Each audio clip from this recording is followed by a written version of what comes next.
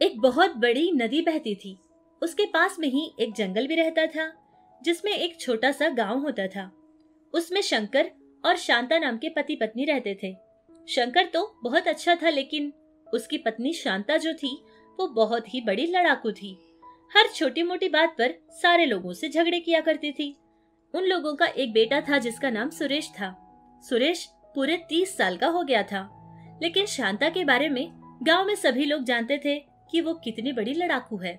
इसीलिए कोई भी अपनी बेटी को सुरेश के लिए देने के लिए राज़ी ही नहीं होता था, जिससे बेचारा सुरेश ऐसे ही अपनी ज़िंदगी गुजारता था। कभी जंगल जाकर लकड़ियाँ काट कर लाता तो कभी घास ही सही काट कर लाया करता था। कभी फल लाता तो कभी कुछ और करता था। कहने के लिए उनके पास खेत तो होते थे, लेकिन फिर भी जंगल की खूबसूरती को देखने का सुरेश का बहुत मन करता था। जिससे वो जंगल में जाता और सुंदर सुंदर जगहों को देखकर खुश हुआ करता था। एक बार ऐसे ही जंगल जाकर वापस आ रहा था तो सुरेश की नज़र कुमारी नाम की एक लड़की पर पड़ जाती है। वो पानी का एक बर्तन लेकर एक खूबसूरत से तोते के साथ बात कर रही थी, जिसको वो ऐसे ही देखने लगा। फिर अपने घर जाकर वो सारी बात उसके माता पिता से बताता है। उस लड़की के बारे में सुनते ही शांता बिगड़ गई और उस पर चिल्लाने लगी। क्या पानी लेकर जा रही थी? और तूने उसको ऐसी हालत में देखकर पसंद किया?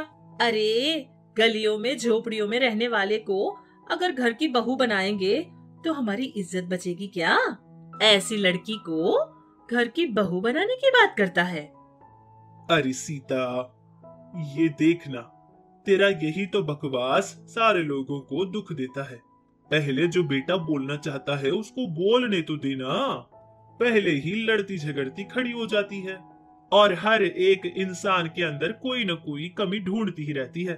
अरे, तेरा बेटा थोड़ी ना कोई जवान लड़का है और कितनी लड़कियों को तू मना करती रहेगी? अगर ऐसा ही चलता रहेगा ना तो तेरे बेटे की शादी कभी ना होगी। शंकर के इस तरह से चीखते ही एक ही बार में शांता भी सोच में पड़ जाती है। सोचने लगती है कि उसका पति भी शायद ठीक ही कह रहा है। एक बार जाकर कुमारी के घर वालों से मैं बात करूँगी। ऐसे ही सोचकर वो उन लोगों के घर तो जाती है, लेकिन कुमारी उसको बिल्कुल अच्छी नहीं लगती। फिर भी दोनों बच्चे एक दूसरे को पसंद करते हैं, इसकी वजह से उन लोगों की शादी हो जाती है। कुमारी बहुत ज़्यादा सुंदर थी और बहुत ज़्यादा समझदार भी थी। जो भी काम घर में होता था, सारा काम अकेली ही संभाल लिया करती थी। चाहे शांता उससे कुछ भी क्यों न कहे, बिल्कुल चुपचाप रहकर हर बात का खामोशी से ही समाधान देती थी। जो भी लोग मना किए बिना ही करती थी, लेकिन फिर भी शांता का मन नहीं भरता था। हर छोटी बड़ी बात पर उस पर चिल्लाया करती थी, लेकिन ये बहुत ज़्यादा सब्र से रहा करती थी। एक दिन की बात है कि सुरेश जंगल का काम देखने के लिए जाता है और अपना काम खत्म करके आ रहा होता है। तभी उसने देखा कि दो तोते एक दूसरे के साथ ढेर सारी बातें करते हुए आपस में खेल रहे थे। सुरेश उन लोगों को इशारा करता हुआ एक पत्थर उनकी तरफ़ फेंक देता है। तभी एक तोता आकर उसके पैरों के पास गिर जाता है और दूसरा तोता उड़कर चला जाता है। जो तोता उसके पैरों के पास गिर गया था, उसको चोट आई थी, जिसको देखकर बेचारे सुरेश को रहम आ जाता है और उस पर तरस खाकर अपने घर अपने साथ लेकर चला जाता है। अरे सीता, ये तो सीता है ना? क्या हो गया इसको? ये जी सीता को क्या हो गया? ये चोट कैसे लगी? अरे कुमारी इतना भी मत घबराओ। इसको कुछ नहीं हुआ है। कुछ शिकारी आ गए थे और वो लोग इस पर तीर मारने ही वाले थे। मैंने इनकी जान बचाने के लिए एक पत्थर से उनको इशारा दिया था लेकिन उससे पहले ही उनका तीर इसके पंखों पर लग गया था और शायद इसीलिए ये जख्मी हो गई है। सीता वैसे तुम्हारा राम कहाँ है? कुछ तो बोलो ना सीता। सुनिए सीता मुझे बहुत अच्छे से पता है। हम इसको यहीं पर रख लेंगे ना। हम इसकी देखभाल अच्छे से करेंगे। अरे देखो देखो आई बड़ी महारानी। अब तोतों को चुड़ियों को भी हमारे घर में रखकर पालेगी क्या? अपने आप को कोई जमींदार थोड़ी ना समझती है। एक तो तू ही ठहरी भिखारन। अब इन पंछियों को भी हमें पालना पड़ेगा क्या? अरे ओ बुढ़िया ये क्या बोल रही हो तुम? कुमारी के खिलाफ एक और शब्द मैं नहीं सुनूँगी। अगर तुम कुछ और बोलोगी तो मैं मेरी चोट से तुमको चुभाऊँगी हाँ। हाय हाय हाय ये तो देखो ये तोता भी बात करने लगा। हम्म अब ये तोता भी मुझे सबक सिखाएगा शायद यही लगता है। सीता को कुमारी अच्छे से जानती थी जिसकी वजह से वो आराम से कुमारी के पास रहा करती थी। और कुमारी भी सीता का पूरा ख्याल रखती थी। उसके पंख को जो चोट लगी हुई थी, उस पर वो दवाई लगाती थी और वक्त पर उसको खाना भी खिलाया करती थी। शांता तो हमेशा कुछ न कुछ सुनाती ही रहती थी और सीता भी उसके साथ साथ ढेर सारी बकवास किया करती थी। शांता का ये बकना और उसकी बकवास दोनों ही कुमारी और सीता को भी आदत सी बन गई थी। शांता एक बात कहती तो सीता उसके बदले में सौ बातें किया करती थी। इन दोनों का ये खेल देखकर शांता का पति शंकर जो था, वो बहुत ज़्यादा खुश होता था। शंकर सोचता था कि अगर उसकी लड़ाकू पत्नी के साथ बातों की जंग अगर कोई कर सकता है तो वो सिर्फ़ सीता ही है। इस बात को लेकर शंकर बहुत ज़्यादा खुश भी हुआ करता था। कुछ समय ऐसा ही गुजर गया था। एक बार की बात है कि कुमारी बेहोश होकर गिर जाती है। उसको अस्पताल लेकर जाते हैं, तभी डॉक्टर ने उसकी जाँच की और उसको बताया देखिए, इनकी तबीयत बहुत खराब है। आप लोग चाहे कितना भी पैसा क्यों ना खर्च करें, लेकिन इनका शरीर किसी भी प्रकार की दवाई को एक्सेप्ट नहीं करेगा। अब इनके ऊपर उम्मीद रखना बंद कर दीजिए। कुछ ही दिन की मेहमान है।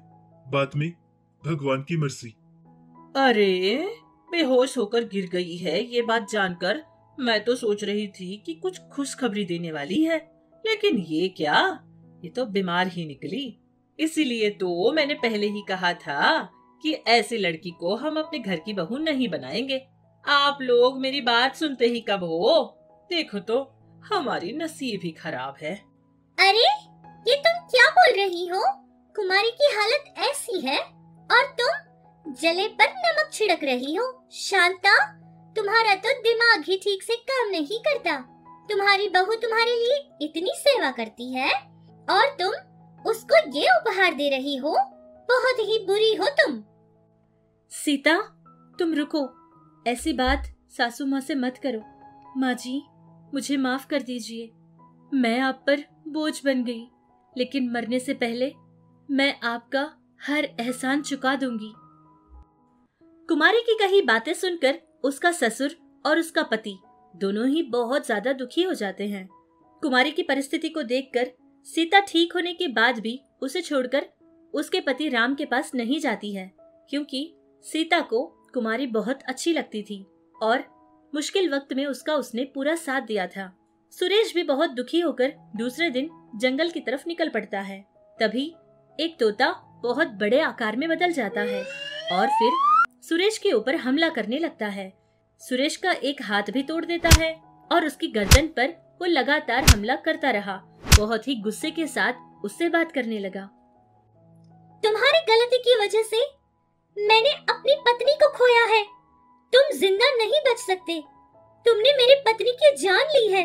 मैं तुम्हें ज़िंदा नहीं छोड़ूँगा। अरे नहीं नहीं। पहले मेरी बात तो सुनिए। आपको गलतफहमी हो गई है। आपकी पत्नी सीता को कुछ नहीं हुआ है। वो ज़िंदा है और मेरे ही घर में है। आपको मेरी बात का विश्वास नहीं। तो आप मेरे साथ चलकर मेरे घर में देख सकते हैं। नहीं तुम झूठ बोल रहे हो। तुमने पत्थर से मेरी पत्नी पर हमला किया था ये मैंने खुद देखा था। और पता नहीं उसको कहाँ कहाँ चोट लगी। मेरी पत्नी को कितनी तकलीफ़ हुई होगी। वो मुझे छोड़कर चली गई। सुरेश की कही कोई भी बात तोता राम बिल्कुल नहीं सुनता है। बहुत ही गुस्से में आकर बार बार अपनी बड़ी सी चोंच को लेकर उसे चुभाता गया जिससे बेचारा सुरेश वहाँ पर अपना दम तोड़ देता है। फिर सुरेश की कही बातों को सुनकर तोते ने सोचा कि शायद ये लड़का ठीक कह रहा है, एक बार जाकर मैं उसके घर के पास देख लूँगा। इतना सोचकर वो घर के बाहर जाता है और एक पेड़ पर बैठकर सीता कहाँ है, इसके लिए ढूंढता रहता है। तभी उसकी नज़र सीता पर पड़ती है। तो उसने देखा कि सीता तो वहाँ बहुत ही खुशी से जी रही है। तब जाकर उसको महसूस हुआ था कि उसने जज्बाती बनकर बेचारे मासूम एक इंसान की जान ले ली थी। ये बात का एहसास उसको होते ही उसके आँखों में आँसू भी आ जाते हैं। तभी अपने मामूली रूप में आ जाता है और बिल्कुल पहले की तरह बदलता है फिर जाकर सीता से बात करने लगता है। सीता? सीता तुम ज़िंदा हो? क्यों सीता? तुम ज़िंदा रहने के बाद भी मेरे पास वापस क्यों नहीं लौट कर आई? अरे राम तुम कैसे हो? बहुत वक्त हो गया तुम्हें देखकर। पता है, सीता को ना बहुत ज़्यादा चोट लगी थी, तभी से लेकर ये मेरे पास रह रही है। लेकिन चिंता करने की कोई बात नहीं है। अब तुम्हारी सीता बिल्कुल ठीक हो गई है ना? अगर तुम दोनों मिलकर कहीं जाना चाहते हो तो तुम जा सकते हो। हाँ कैसे हैं आप? ये देखो, ये कुमारी है और इसी का पति जिसका नाम सुरेश है। उसी ने मेरी जान बचाई थी। पता है आपको, मैं जब जख्मी हो गई थी, तब वो मुझे अपने बच्चे की तरह मेरा ख्याल किया था। सब कुछ इतना जल्दी जल्दी हो गया कि मैं कुछ आपसे कह नहीं पाई थी। मुझे माफ़ कर दीजिए, इसलिए आपके पास नहीं आई। हाँ ये लो, अब यही देखना बाकी रह गया था। पहले से ही एक तोता हमारे जान पर बैठा हुआ था। अब ये दूसरा भी आ गया है। अरे ओ सीता! अब ये कौन है? तेरा बॉयफ्रेंड है क्या? आओ आओ। पूरे परिंदे, पूरे जानवर हमारे घर में घुस जाओ और मेरे घर को भी जंगल बना दो। तोता राम सीता को दूसरी तरफ़ बुलाता है और जो कुछ भी हुआ था, वो सारी बात सीता से बता देता है।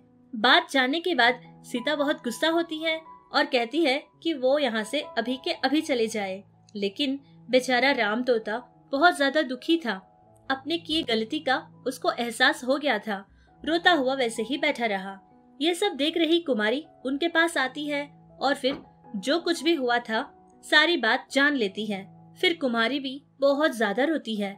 उसको ये एहसास होता है कि मेरे ज़िंदा रहते हुए ही मेरे पति की मौत मैंने देख ली। ऐसे दुस्थिति भगवान किसी को ना दे। अब सोच सोच कर डर रही थी कि आखिर ये बात वो घर वालों को कैसे बताए। बहुत ज़्यादा रो रही थी।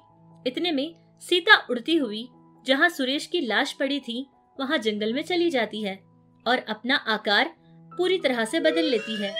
बड़ा सा तोता बन जाती है और फिर सुरेश को अपनी किसी जादुई शक्ति से दोबारा से ज़िंदा करती है और फिर सीता, सुरेश दोनों ही मिलकर घर वापस लौटते हैं। अपने पति को सही सलामत देखकर कुमारी बहुत ज़्यादा ही खुश हो जाती है, लेकिन सुरेश को ज़िंदा देखकर राम तोते की तो साँसें ही अटक गई थी। बिना देर किए सीता के पास जाता है और इस तरह से राम तोता बात करने लगता है। ये तुमने क्या कर दिया सीता? जो शक्ति हमारे पास थी, तुमने उसका इस्तेमाल किया? आज के बाद तुम एक मामूली तोता बनकर रह जाओगी। आज के बाद हम जादुई तोते बनकर पति पत्नी की ज़िंदगी नहीं बिता पाएँगे। मुझे माफ़ कर दीजिए राम। इतना समय आपकी प्रेमिका बनकर, आपकी पत्नी बनकर मैं बहुत खुश होकर अपनी ज़िंदगी गुजारी थी। लेकिन आज हमारी गलती की वजह से इन दोनों की जोड़ी जुदा हो जाए, ये मैं कभी बर्दाश्त नहीं करूँगी। मैंने अपनी शक्ति का इस्तेमाल किया और इसके पति की जान बचाई थी। मेरी बाकी की ज़िंदगी मैं ऐसे ही बिता लूँगी। अगर तुम भी मेरे साथ रहना चाहते हो तो अपनी शक्ति का उपयोग करो और कुमारी की ज़िंदगी बचा लो। अपनी पत्नी सीता की बात सुनकर राम तोता बहुत ज़्यादा खुश होता है। जो ख्याल उसको नहीं आया था, वो उसकी पत्नी को आया था। इस बात को लेकर वो बहुत गर्व भी महसूस करता है। अपनी गलती की माफ़ी माँगता है और हमेशा ही उन लोगों के साथ मिलकर रहने का वो इरादा भी कर लेता है। जो वरदान उसके पास था, उसकी माया शक्ति का उपयोग करता है। जो बीमारी कुमारी को हो गई थी, पूरी तरह से उसको ठीक कर देता है। अपना अपना वरदान इस्तेमाल करने के बाद दोनों ही तोते मामूली आकार में बन जाते हैं। अब उनके पास कोई शक्ति या जादू नहीं बचा, लेकिन फिर भी सुरेश और कुमारी के साथ मिलकर अपनी ज़िंदगी बहुत खुशी खुशी बिताने लगे।